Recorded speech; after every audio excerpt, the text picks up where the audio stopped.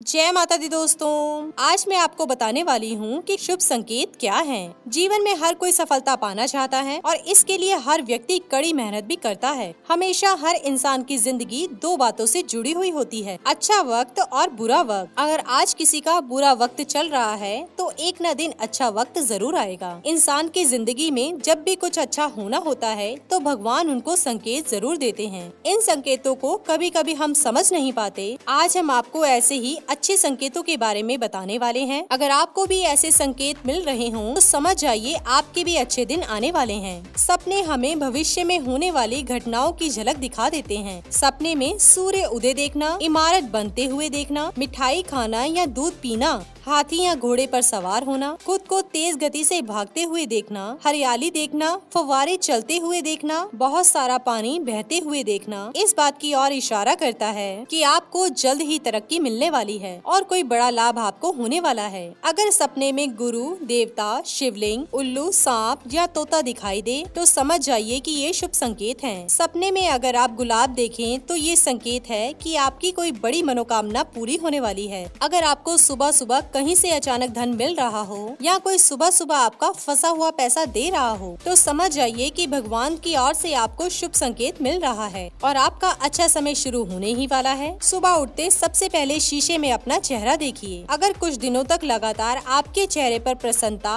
और चमक दिखाई दे तो समझ जाइए कि आपका बुरा वक्त बहुत जल्द खत्म होने वाला है। साथ ही आपका कोई इम्पोर्टेंट काम भी बनने वाला है। अगर आपकी सोच लगातार पॉजिटिव होती चली जा रही है, अध्यात्मक और देवी देवताओं के प्रति झुकाव होता जा रहा है, कोई भी बुरा काम करने के लिए आपका मन नहीं करता तो समझ जाइए कि जल्द ही आपके जीवन में कोई बड़ा परिवर्तन होने वाला है और आप अच्छे समय में प्रवेश करने वाले हैं। कई बार अच्छे संकेत हमें पशु पक्षियों से भी मिलते हैं। अगर कोई बिल्ली आपके घर में बच्चों को जन्म दे या कोई पक्षी आपके घर में घोंसला बनाए तो समझ जाइए कि कोई शुभ समाचार आपको मिलने वाला है। अगर आपके शरीर का कोई भी अंग अचानक से फड़फड़ाने लगे तो समझ जाइए कि भगवान आपको शुभ संकेत दे रहे हैं। दाहिनी आँख, दाहिने कंधे, बाजू और दोनों आईब्रोज के बीच वाला हिस्सा फड़फड़ाए तो धन लाभ और सफलता मिलने के योग बनते हैं। अगर आपके घर में पौधे पर अचानक बहुत सारे फूल आए तो समझ जाइए कि बहुत जल्दी आपका अच्छा समय आने वाला है। इसी के साथ ही दोस्तों, अगर आपको ये वीडियो पसंद आया हो तो इसे आप लाइक कीजिए, अपने दोस्तों और रिश्तेदारों के साथ शेयर कीजिए और सब्सक्राइब कीजिए। साथ ही साथ बेल आइकन को प्रेस करें ताकि नया नोटिफिकेशन आप तक सबसे पहले पहुँच सके। धन्यवाद दोस्तों।